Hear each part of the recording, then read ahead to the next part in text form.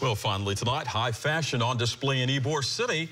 It's all part of Hillsborough Community College's Summer Camp Kids College. This week, the kids studied fashion design. Today, they showed off everything they learned from summer wear to styles like nerd chic and even rock star. the kids, ages 7 to 12, dressed the part as they vogued down the makeshift runway. And boy, were they styling. Having fun, weren't they? Yes, indeed. Looked like it.